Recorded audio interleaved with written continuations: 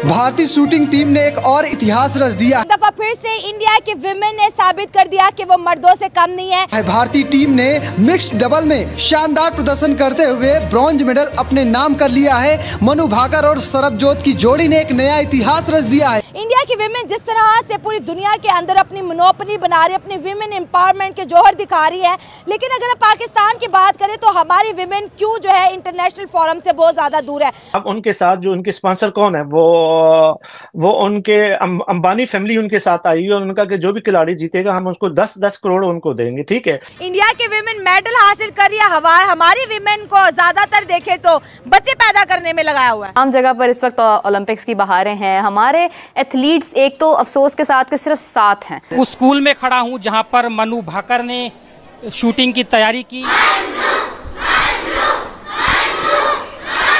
India basically अपने players को और नेशनल हीरोज को इम्पोर्टेंस देता है। क्या बात है क्या खूब और कहीं ना कहीं वो भी मतलब पहले ही राउंड से बाहर होने की खबरें सामने आ रही हैं। बहुत ज़्यादा कोशिशों के बावजूद जो है वो कुछ बड़ा अभी तक अचीव कर नहीं पाया। बेनिफिट देता है। वो उनको पता है कि इंडिया को ये बंदा ये लड़की ये लड़का प्रेजेंट कर रहे हैं। बिल्कुल। तो हमें भी उतना ही उसको देना चाहिए जितना उसका हक मैंने देखा कितने वो तो बहुत आगे हैं। इंडिया एक हमसाया मुल्क आप देखें वो कितनी आगे हैं वो तो बहुत ज़्यादा मेडल्स लेकर जाते हैं अपने कंट्री तो इंडिया क्यों आगे जाता? है इंडिया ने इन्वेस्टमेंट की है। इंडिया के यंग टैलेंट की बात करें मनु भाकर की बात करें आज ओलंपिक्स के अंदर फ़र्स्ट पोजीशन हासिल की फ़र्स्ट मेडल हासिल किया। इंडिया के विमेन मेडल हासिल कर रही हवा हमारी विमेन को ज़्यादातर देखे तो बच्चे पैदा करने में लगाया हुआ है। हाँ बिल्कुल आपने बिल्कुल सही कहा था। क्योंकि आपको पता है कि यहाँ पे तो एक बेरोजगारी है ना तो यही काम है और तो कुछ नहीं है पाकिस्तान में। अच्छा तो कोई काम धंधा वो औरतें इतनी तरक्की कर रही हैं। ये भी बड़ा काम है ना ये तो छोटा काम तो नहीं है ये तो बड़ा काम है ये बड़ा काम है। पाकिस्तान की आबादी खतरनाक हद तक बढ़ गई है बस कर दो अब। नहीं नहीं इस ये तो हम कंटिन्यू ही रखेंगे ठीक है? जितना भी हो सकता है we should continue this process इंशाल्लाह। आपकी वर्दी से लग रहा है आप डॉक्टर हैं? नहीं मैं डॉक्टर नहीं हूँ मैं मैं नर्स हूँ।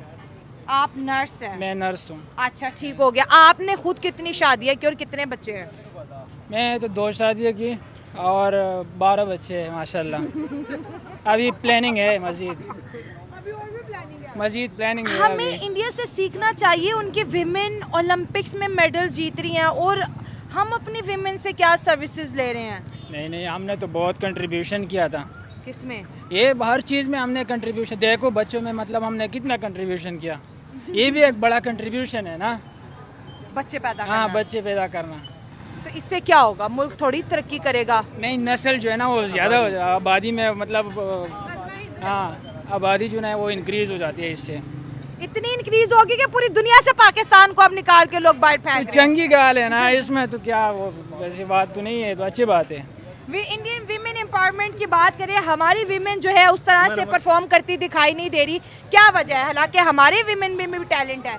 नहीं मैंने नहीं आप बात करेंगे। हमारी गवर्नमेंट जो है ना ना फीमेल को या मेल को हम उनको सर्विस प्रोवाइड नहीं कर सकते। ठीक है। ना? अगर हम हमारी गवर्नमेंट हमारी मुल्क में टैलेंट की कमी कोई भी नहीं अच्छा, है। ना लेडीज़ के लिए ना जेंट्स के लिए। ठीक है। ठीक है ना? हमारे में टैलेंट ज़्यादा है इंडिया से। मगर हम इनको अगर प्रोवाइड करें सर्विस बहाल करें इनको पैसे दें तो ये भी इंशाल्लाह तरक्की कर सकते हैं। हम्म। हमारी इसलिए हमारी नस्ल पीछे है। हमारा कोई भी फीमेल या मेल ना आगे बढ़ नहीं सकता किसी तो, भी तो इंडिया जो है अपने एथलीट्स को फैसिलिटी दे रहा है। लगाता है वहाँ पे। ठीक है, पैसा उनके लिए ग्राउंड्स हैं। फैसिलिटी दे रही है ठीक है ना? हमारे में वो फैसिलिटी नहीं है ठीक है ना? हम्म, गवर्नमेंट पे पैसा लगाए ग्राउंड दे देना इनको ठीक है ना? और भी गवर्नमेंट पैसा लगाती है किसी चीज़ पे मगर टैलेंट की कमी वजह से ना। ओलंपिक्स एक तरफ़, तमाम जगह पर इस वक्त ओलंपिक्स की बहारें हैं। हमारे एथलीट्स एक तो अफसोस के साथ के सिर्फ़ सात हैं। और कहीं ना कहीं वो भी मतलब पहले ही राउंड से बाहर होने की खबरें सामने आ रही हैं। बहुत ज़्यादा कोशिशों के बावजूद जो है वो कुछ बड़ा अभी तक अचीव कर नहीं पाए। अभी तो स्टार्ट हुआ है, अगरचे।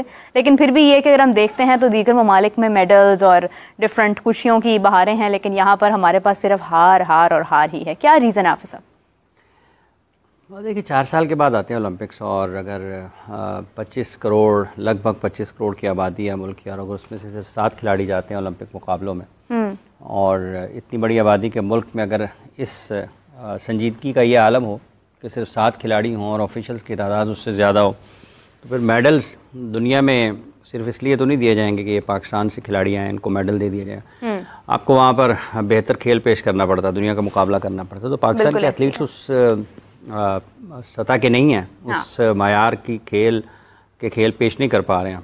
कोई आखिरी नंबर पर है कोई बल्कि जो भी आ रहे हैं आखिरी नंबर पर ही आ रहे हैं। साहब क्या वजह है? मतलब देखिए एक अगर देखा जाए तो हुकूमती सतह पर ओलंपिक्स पर कोई बहुत ज़्यादा गौर नहीं किया जाता। पाकिस्तान में असल में ऐसा नहीं होता। यही वजह है कि लगभग 25 करोड़ का मुल्क हो और सात खिलाड़ी आपके वहाँ पर ओलंपिक में शरीक हो तो ये सोचने की बात है। पाकिस्तान की हुकूमत के लिए चारों सूबे जो हैं उनकी सूबाई वजारतों के लिए क्योंकि अठारहवीं तरमीम के बाद तो ये सूबों की ज़िम्मेदारी है।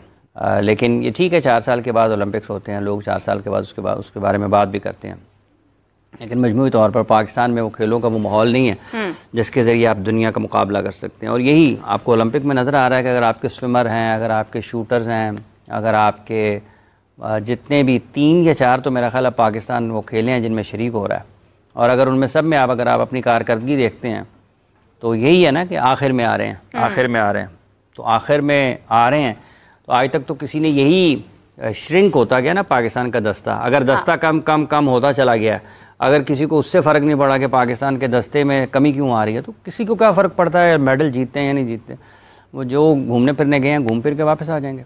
देखिए दरअसल खेल अ, मेरे ख्याल से दो ममालिक को या जितने भी मुल्क एक दूसरे के साथ जुड़ते हैं उनको जोड़ने वाला खेल होता है बहुत अहमियत रखता है और ओलंपिक्स एक इतनी बड़ी टर्म है। अगर आप देखें कि इसके अंदर कई खेल आ जाते हैं। इसमें शूटिंग आ जाती है स्विमिंग आ जाती है जेवलिन थ्रो आ जाता है, बहुत कुछ आ जाता है। इतनी इतनी डिफरेंट चीज़ें हैं कि आप देखें, अगर आप अपने घर में देखते हैं तो बच्चों को इतनी इतनी महारत होती है हर चीज़ की। और अगर आप, उनको पता हो कि हमारे खेल का, हमारे जो हम स्पोर्ट्स जिसमें हम जाना चाह रहे हैं, उसका आगे कोई फ्यूचर है तो फिर आपको एथलीट्स भी मिल सकते हैं। लेकिन अगर आप यहाँ पर देख रहे हैं कि जहाँ जो सात लोग वहाँ पर गए हैं, वो भी कुछ नहीं कर पा रहे हैं तो फिर तो आप समझें कि बस आपका हर खेल ही दिन ब दिन ज़ाया होता जा रहा है। ओलंपिक्स को जो हमारे 29 इयर्स हो गए हैं तब हमारा सिस्टम कुछ और था। ठीक है। तब हमारे पास ग्रुपिंग सिस्टम नहीं था। अब हमारे पास इतना ग्रुपिंग सिस्टम हो गया कि हम बेसिकली अपने खेल को भूल गए हैं। ठीक है। हमें जैसे प्रेजेंट करना चाहिए वैसे हमारे पास एथलीट नहीं है अब। ठीक है। अगर एथलीट आता है तो उसको वो चीज़ें वो सहूलियात नहीं, नहीं दी जाती। हाँ। ठीक है?